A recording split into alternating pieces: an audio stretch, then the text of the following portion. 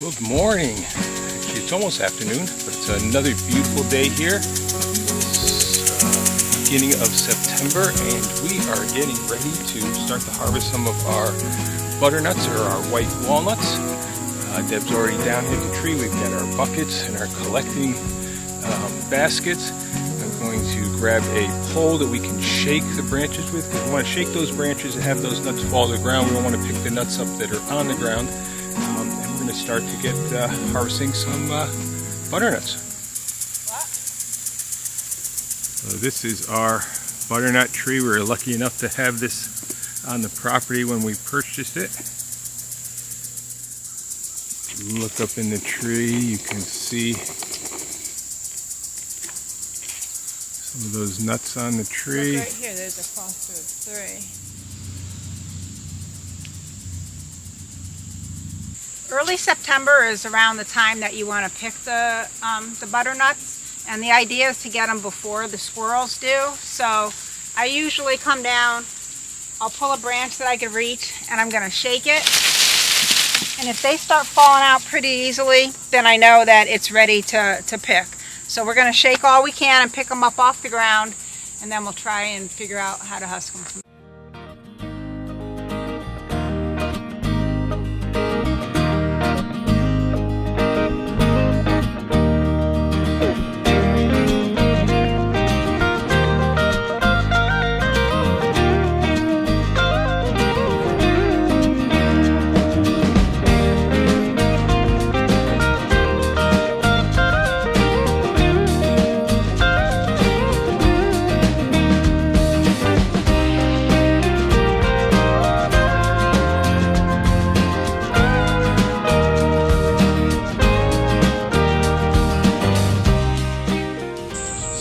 Tools I'm going to use to get to the higher branches is I'm going to use our pruning tool and I'm just going to hook this onto the branches. Obviously I'm not going to cut the branches off, but this will help us shake the tree and get those higher nuts down.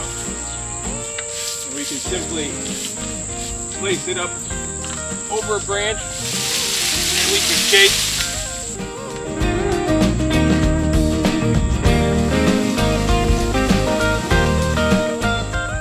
thing that's real important is to make sure you're wearing gloves. Uh, these will get all sticky from kind of from picking up the nuts. So unless you want your hands all sticky, you definitely need to wear gloves.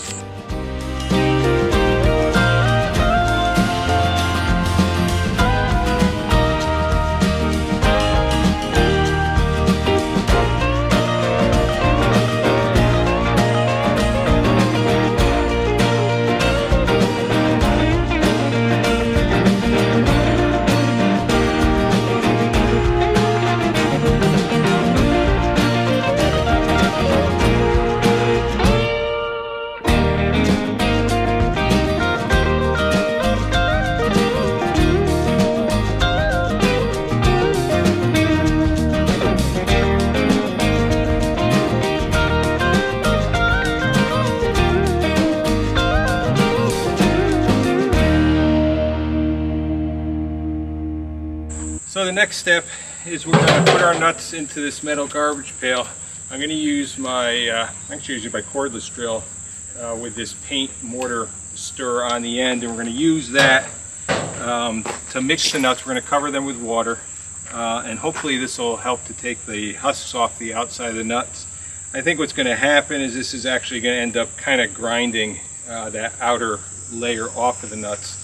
Um, from watching videos online of different people, they say it takes three to four minutes. I'm not so sure how long it's going to take, but we'll give it a shot. So for this, we're going to use the rainwater that we collect off of our barn here. Uh, I'm not too worried about the water being super clean uh, because this is only to get the outer husks off. Uh, the, the, nuts will still be in the shell. So uh, we can use rainwater for this and uh, we're going to use the rainwater that we collect on site and we also pump this using solar energy, so this is 100% renewable.